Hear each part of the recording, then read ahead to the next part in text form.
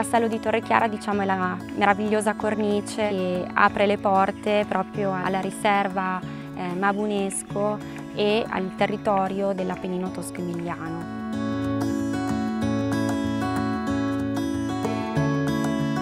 Castello completamente affrescato, parliamo di affreschi tardo cinquecenteschi, di inizio Seicento. Torre Chiara è uno dei massimi esempi della pittura grottesca all'interno dell'intero territorio del Parmense. Mi preme anche non dimenticare i meravigliosi affreschi della Camera d'Oro quattrocenteschi attribuiti al Bembo che narrano di questa storia d'amore tra Bianca Pellegrini e Pier Maria Rossi in maniera esemplare, raffigurata, rappresentata proprio dal Bembo nel tardo 400 e soprattutto anche un'altra sala importantissima che è la Sala della Vittoria con questa esaltazione della pittura grottesca, quindi parliamo di un tripudio di elementi vegetali, di frutta, di eh, raffigurazioni di antichi castelli e di allegorie tutte rappresentate all'interno di questa sala.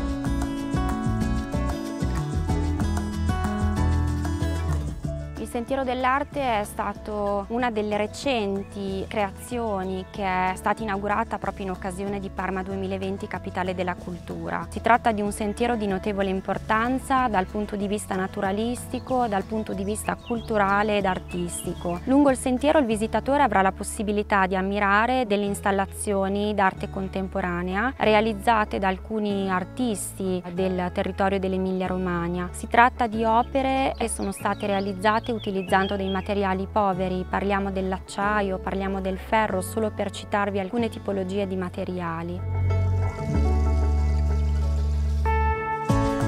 Il territorio di Torrechiara è attraversato da un antico canale chiamato Canale di San Michele, un canale importante che ancora oggi permette ai coltivatori del territorio di avere adeguate risorse idriche. Un territorio che come si vede è caratterizzato da vigneti ma anche da piantumazioni di pomodori che sono i prodotti cardine insieme al prosciutto, insieme al parmigiano reggiano e al vini dei colli di Parma del territorio nel quale siamo. All'adeguata portata d'acqua che garantiva l'antico canale di San Michele ha favorito da sempre il risparmio idrico e l'apporto idrico all'interno del castello, quindi un castello che si trova immerso e che si trovava già al tempo immerso in un territorio particolarmente estremamente fertile e quindi non è un caso eh, il fatto che ancora oggi sia completamente circondato da innumerevoli distese di vigneti.